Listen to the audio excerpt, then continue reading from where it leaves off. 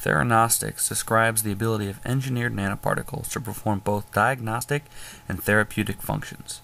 Our friend Bob here will help us demonstrate how calcium phosphosilicate nanoparticles can be used as a theranostic device.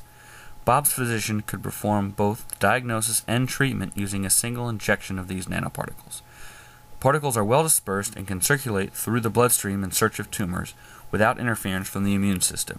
Inside the particles, there is a near infrared fluorescent dye called indocyanine green. On the surface, there are molecules which target specific cancers.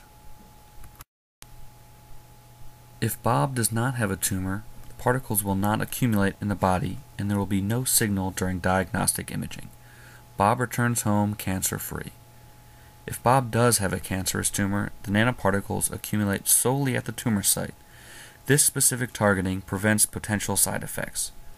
During diagnostic imaging, the signal from the concentration of fluorescent nanoparticles will show the location of the tumor within the body. At this point, the cancer can be treated immediately and non invasively using a low powered laser. The wavelength of the laser is in the near infrared range allowing for deep penetration without damaging surrounding tissue.